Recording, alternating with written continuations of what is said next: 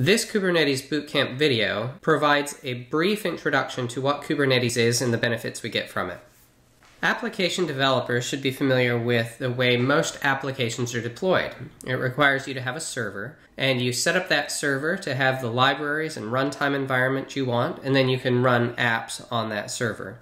The servers typically have a long life cycle, and changes to libraries or other runtime elements can be problematic because they may interrupt one or more apps running on the server. Containers make it possible to combine the libraries, runtime, and other details with the application in a single image.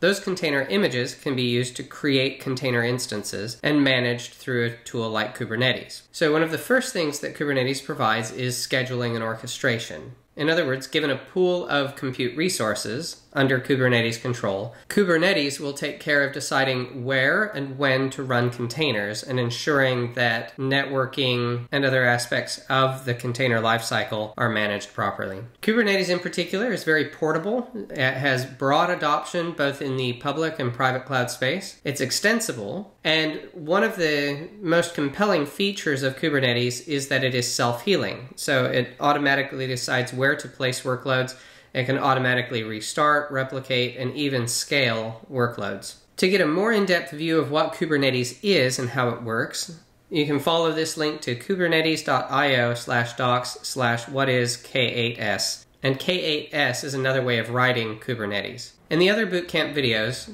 we'll demonstrate how to deploy an application on top of Kubernetes, how to manage that application, and how to use some of the most compelling features in Kubernetes.